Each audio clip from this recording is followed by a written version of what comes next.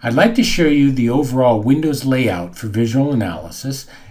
If we take a look at it, we have a menu bar at the top, what's called a ribbon bar below the menu bar, which is sensitive to what is selected in the menu bar. The ribbon bar contains almost all of the things you can do in VisualAnalysis, and they can be selected by clicking on them. In addition to the menu and the ribbon, we have our project manager, which you see here docked to the left of the screen.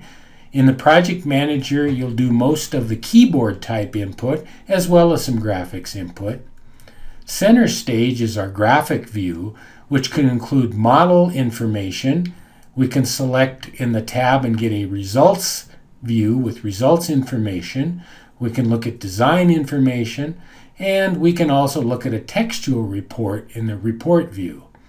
At the bottom of the screen, we have what's called our Find tool, which allows us to select objects by selecting them in the list in the Find tool.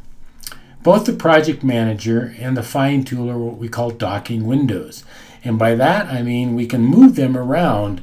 And by to do that, we simply hold our mouse over the, the title bar for the window, hold down the mouse and drag the object, and it will undock itself and slide around. This is very useful if you have a multi-monitor display, so you can move the Find tool, maybe the Project Manager, to a second display, thus leaving the main window open for more graphics information to be shown. To redock, we simply drag, and as we approach an edge, we're allowed to, uh, to dock on that edge by holding and dropping it on this small rectangle. So when I do that, I can dock to the bottom. These windows can be docked to the side, to the top, and to the left. One other feature of a docking window is it has an auto hide ability. The docking windows have a small thumbtack in the corner, and if I click on that, they will go into auto hide mode. To get the window back, I simply click on the title of the window and it will reappear. If I want to redock it, I can simply click thumbtack again and get it docked.